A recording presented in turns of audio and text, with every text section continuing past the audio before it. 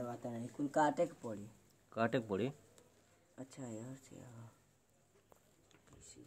खुले रखना का हम्म? खुले लागता ना।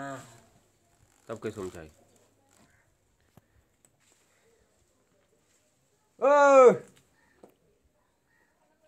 मत तो रहो राधा। न तोरा भैया। देखा तो यहाँ मरता खाना बना खुद गैस सिलेंडर खत्म हो गया वही काम चलियो ना मैं अब ऐना सुने था। और मत तोरा ज़्यादा देखा तो सिलेंडर का बहुत दिक्कत होता बा। सब लकड़िए सब काम चलाई। घर का लकड़ी रखे ना तोड़ तुझे तो लोग आके तोड़ ले था वालो गैला गए काहे ना दे। जब डान ने बुरा बोल देते। रिकॉर्डिंग करे चाहते हैं मतलब बात अरे अरे साला करो बोले ना कैमरा घुमाओ नहीं घुमाओ।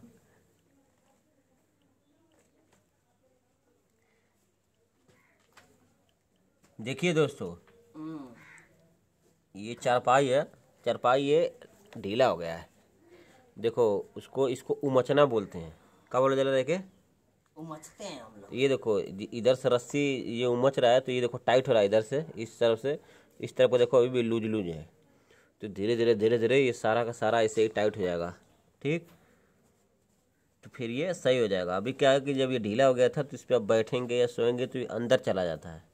जाता हाँ। तो ये जो शरीर का जो बीच वाला भाग है ना वो अंदर चला जाता है पैर ऊपर हो जाता है पीठ से लिए गर्दन ऊपर हो जाता है तो वो बड़ा दिक्कत होता है बैठने या सोने में। हम्म, दर्द करने दर्द करने लगता है। अब ये इसको उमच देंगे यानी बराबर इसको सीधा कर देंगे।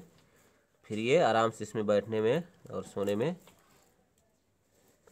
तकलीफ़ नहीं होगा। तो अगर आपके घर चारपाई है तो आप ऐसे उमच लें। उमचने के लिए कुछ करना नहीं है। बस एक साइड से रस्सी पकड़ते जाएँ, खींचते जाएँ। देखो। देख रहे हो? ऐसे ऐसे। जितना। और लास्ट में उधर, देख रहे हो ना? देख रहे हो? देखो, इतना इतना बड़ा रस्सी हो गया है। इतना एक्स्ट्रा ये लूज हो गया था। वैसे ही लास्ट में जब ये रस्सी जो एक्स्ट्रा जो बड़ा सा जो दिख रहा है उसको उस तरफ़ जाके बाँध देंगे। देखो। तो मिस्त्री हैं, किस किसानू? उर्फ़ शिव प्रसाद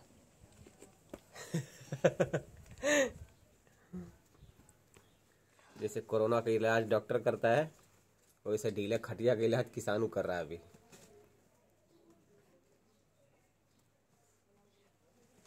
समझे? तो अपने घर का जो भी ढीला खटिया है, उसको ऐसे जाओ, कसो, उमचन कसो इसको, उमचन कसना बोलते हैं। देखो दोस्तों ध्यान से, मैं ऐसे रोज ब्लॉगिंग का वीडियो बनाते रहता हूँ अजीब अजीब सा। कुछ तो मज़ेदार होता है, कुछ फनी होता है, और कुछ तो फ़ायदामंद होता है। जैसे कि ये वाला वीडियो फ़ायदेमंद है आपके। ठीक? देखो देखो कहीं कहीं ऐसे देखो, गांठ होता है, बहुत भयंकर भयंकर किसी किसी के खाट में, जिसका पुराना खाट रहा है जैसे ये पुराना खाट है। तो उस गांठ को आप खोल लें। और एक बात का बहुत खास तरीके से ध्यान रखें। वो ये है कि जब ये उमचन कसा जा रहा हो, यानी ये ये खाट की जो लचकनपन है, इसको जब सही किया जा रहा हो तो इस पर कोई बैठे ना। क्योंकि ये जब बैठेगा तो ये जो शरीर का वज़न है, उस वज़न की वजह से ये नीचे दबेगा।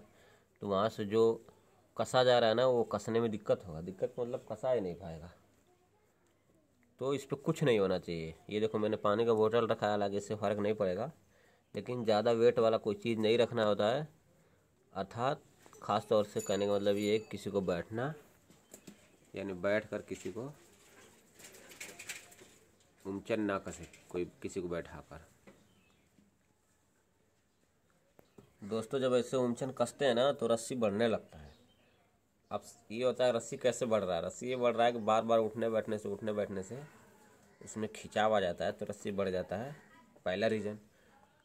और दूसरा रीज़न जो कि उसमें जोड़ देता है रस्सी को बढ़ाव के लिए वो ये है कि बार बार जब हम बैठते हैं तो ढीला होते जाता है, ढीला होते जाता है और वो इसकी वजह से जब हम ऐसे उमचन जब कसते हैं तो लगता है रस्सी बढ़ गया है। तो रस्सी तो एक्चुअली में बढ़ता है, खिंचाव की वजह से। लेकिन थोड़ा बहुत ये भी फ़र्क पड़ता है, ढीला होने की वजह से भी लगता है कि रस्सी बढ़ रहा है। ये देखो देखो जोड़ है, टूट गया था बीच में से।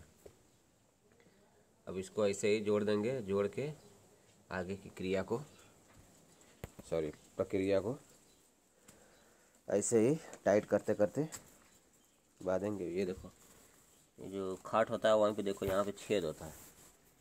ये जो पोर्शन बना हुआ उसे इस छेद में डालते हैं और इस तरीके से इसको कैंची बोलते हैं। कैंची वाले तरीके से उसको लेकर जाते हैं फिर उधर से वैसे निकाल के फिर इधर से फिर ऐसे डालते हैं। देखे? ये है। ये सारा प्रक्रिया जब कंप्लीट हो जाएगा तो देखिए अब देख सकते हैं। खाट देखिए बराबर हो गया टाइट होगा।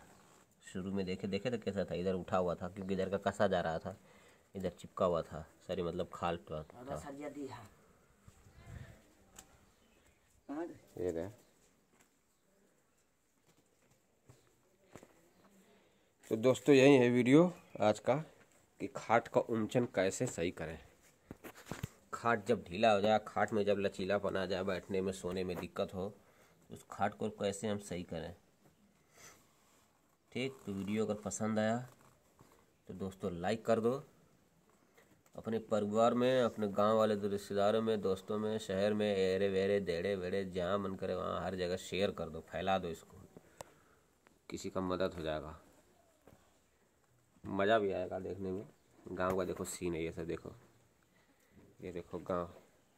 कोरोना के वजह से देखो सारा गाँव एकदम अताल पताल हो गया है।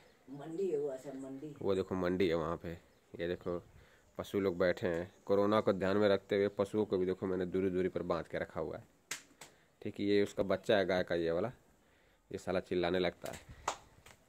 इसके लिए इसको वो किया गया है। ये देखो रहे हो? दूर दूर तक कोई नहीं दिख रहा है। ये किसान हूँ जो खटिया उमच रहा था। तो आई होप की वीडियो पसंद आया होगा लाइक करो शेयर करो सब्सक्राइब कर दो। चलो भाई बाय। बाकी के व्लॉग की वीडियो भी जाके देखो। कॉमेडी वीडियो देखना है तो वीमेट पर जाओ।